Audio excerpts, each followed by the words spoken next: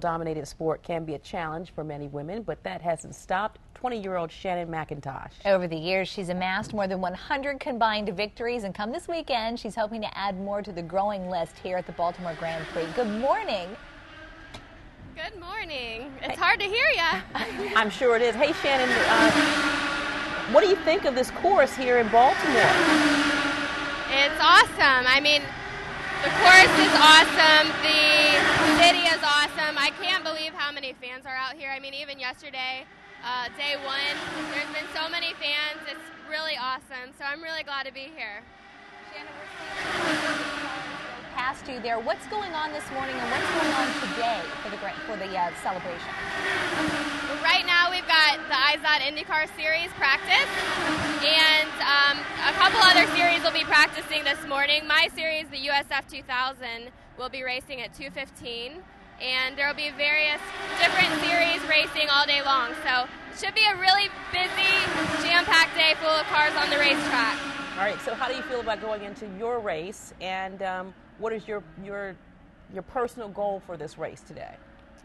Uh, I other feel than really winning. good, you know. right. Uh, actually, you know, yesterday we were a little delayed. Um, we don't have a qualification session. We only had a practice that was 15 minutes long. So we're going into our first race with very little laps on the new course. Um, so my goal really is to just keep figuring out the, the course. We've got another race tomorrow. Um, so today we want to get the track figured out and, and go into race number two tomorrow uh, with comfortable, uh, good setup, and, and ready for tomorrow. Okay, Shannon, we have to go, but just real quickly, some motivation for other girls that are out there watching you. You're young, but you've been racing for like ever. So how much fun is it?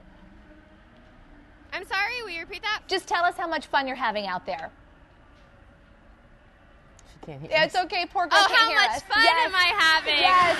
Uh, I'm having a lot of fun. Um, I love it. I mean, I've been racing since I was five. I'm 22 now, um, so 17 years. This is what I want to do. So, uh, you know, I'm living the dream, and, and it's awesome. All right. And your fans call you Miss Excitement. That's what my fans call me. We got something in common. All right. Good luck with your with your races. Oh my goodness. She couldn't be more beautiful and sweet out there. How much fun. Oh, well.